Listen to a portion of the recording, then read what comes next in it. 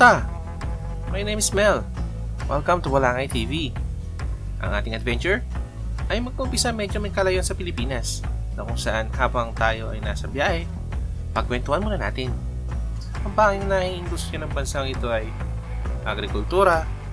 Mapapansin nyo sa video, medyo ang kabatagan at pulubundukin na ay balot ng damo at halaman. Marami din ditong baka tupa. Oh, nawala nyo na ba? Ito ay ang New Zealand. Konting trivia mula sa bansang ito mga mates. Alam nyo ba na anim na Pilipino kauna-una ang naitalang residente dito noong 1936 at sa taong 2013 umabot na sa 40,000 mahigit. Sa bidyong ito, tutungayan natin ng isa sa pinakasikat na activity ng mga Pilipino dito, pag-rest day nila. Papunta kami ngayon ng Raglan para mag-fishing. 49 minutes travel mula Hamilton City papuntang Raglan sa may Mano Bay boat ramp area. Ilan namin yung motorized boat. Gamit namin yung youth o yung pick-up kung tawagin natin sa Pilipinas. Ng aming magiting na mahiyain sa camera ng aming skipper o yung aka kapitan ng bangka. Ang isa sa sikat na aktibidad ng mga Pilipino dito sa New Zealand ay recreational fishing. So pwedeng sa pangpang o surf casting o sa may batuhan or rock fishing. Ang iba naman ay gumagamit ng kayak o bangka. Kung kayo ay nasa pangpang o batuhan, may nakatalang tamang lugar para doon kayo mangisda o mamingwit gamit ang fishing rod. Bilang angler o mamimingwit dito sa New Zealand, dapat mong malaman ang mga fishing rules gaya ng legal size ng isda depende sa klase. At ang bag limit o dami ng pwede mong huliin. May pit na pinapatupad dito. Itong uh, mga rules na to upang hindi kagad maubos ang yaman dagat. Kung kayo naman ay magbabangka, dapat ahead ang plano ninyo. Mga ilang araw para matiyak ang lagay ng dagat. Susunod na episode, yan ang tatalakayin natin. Yung mga fishing rules at safer boating. Kaya sabay-bay lang kayo, mga mate. To watch more videos like this, please click like and subscribe and hit the notification bell para maging updated kayo sa activity ng Balangay TV.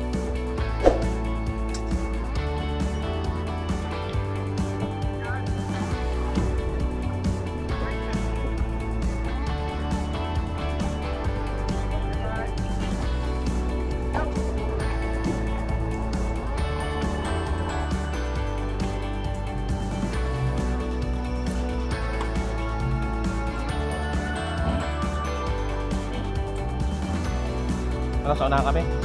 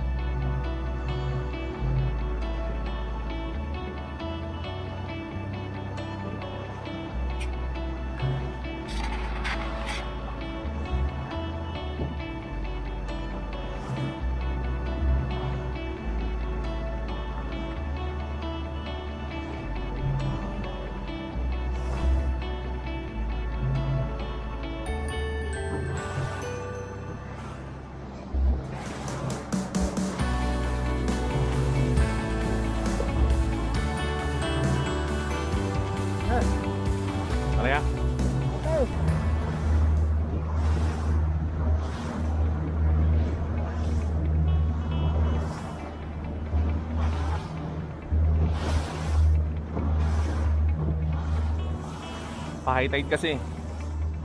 Mga ganyan.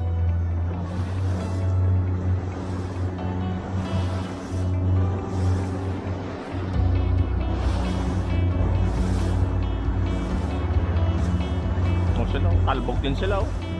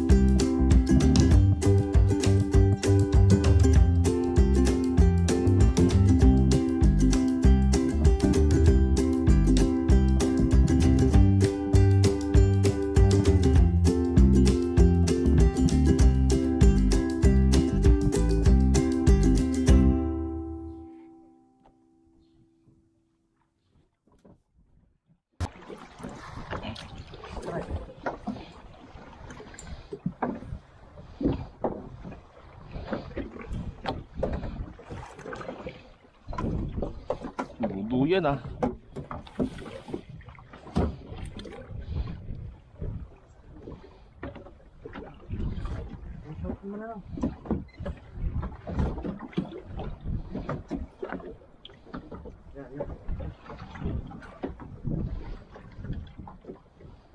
Naihiya lang yung isda eh. Tinitikman niya na yung ano eh. Oh. Fishing time na yan, Brad.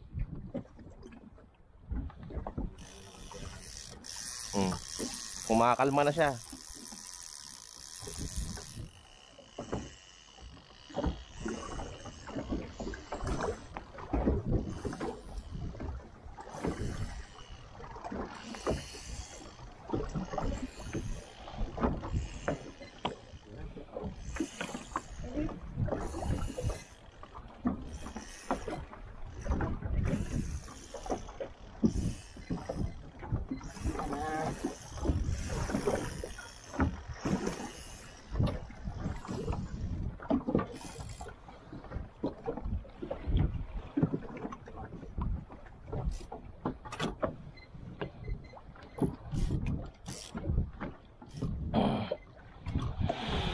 It's time to fish.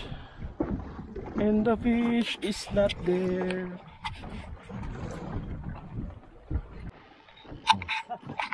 Yan. Ayan, ganyan. eh, Ganyan. Pre, angat mo na yung dilaw. Delikado yung dilaw na yan. Hindi umano. Pre, pre, yung dilaw. Ha. Laki na yung nadali niya, oh. Kapatay. Oh. Hindi, nag-stay naman. Para pagkalanganin din ako dito, eh. eh, Angat ko na rin. Boss. Tingin na yan, brat. King yan, bay. Alak ka ng tuba. Oh, pakuri mo, pakuri mo. Okay. Buring mo lang. Area lang. Oh. Tayo. Nakanda lang ako rito.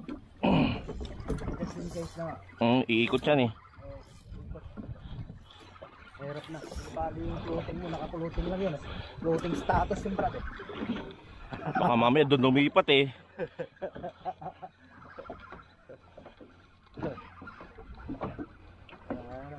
Lang. Ayun, eh, one spot lang siya eh, oh. Laki snapper yan. Ang dami na. Ah, panay, panay, panay. oh. May galunggong na oh. Sabi ko, kanina pa yan eh. Sa one spot ano? Kitek? Kitek yata ah. Kitek ba? Kitek, snapper. Snapper. Ano yan? Tapat yung ano mo brada. Okay. Yes, ah. Ano mo presyo yan? Bayan mo. Baka mag-angat na rin ako. Sige, sige, sige. Ah.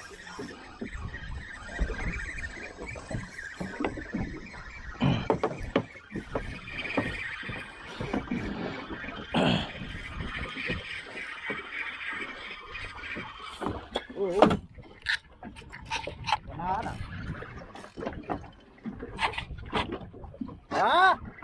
Ha! Ang gandang laban nito ah.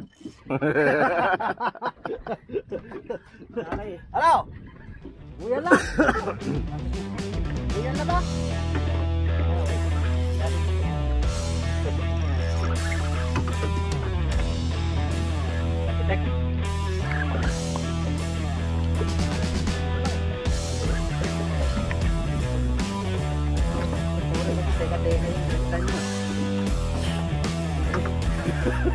Ay, malaki din eh. Hindi, yung linya mo doon na nylon, yung ano? Ah, Mm. oo. Luma na yun. Luma na. Ayan.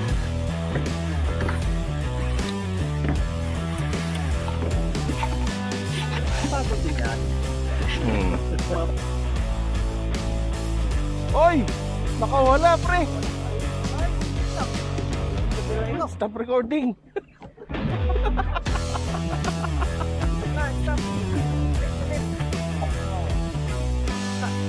Oh. So, suho. Ayan o. Tumutuloy siya. May kikilawin na ba tayo? Ay, hopefully.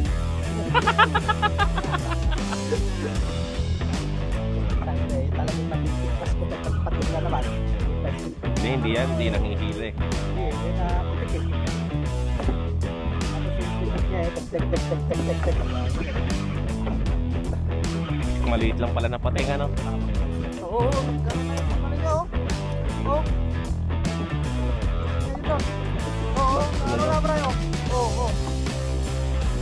Yan lang, ano. Ayan ang snapper. Yan lang, isda.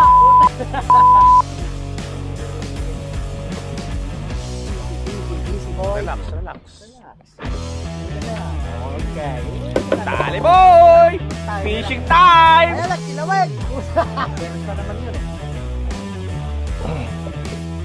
Kilaw na tayo ngayon, Brad. Kahit kalahati lang. Fishing time!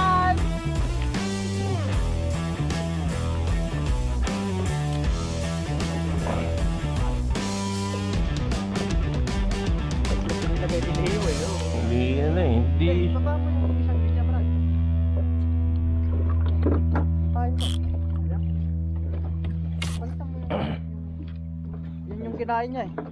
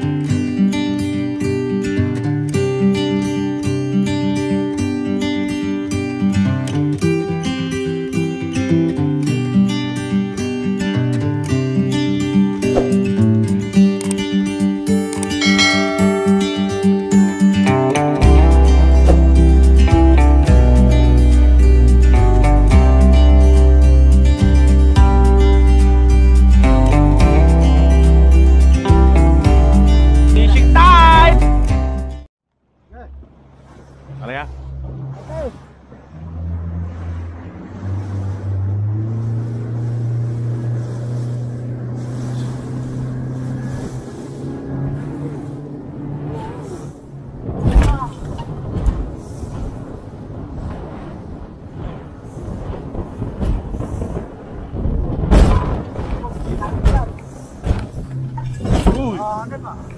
Relax, Brad! Relax lang.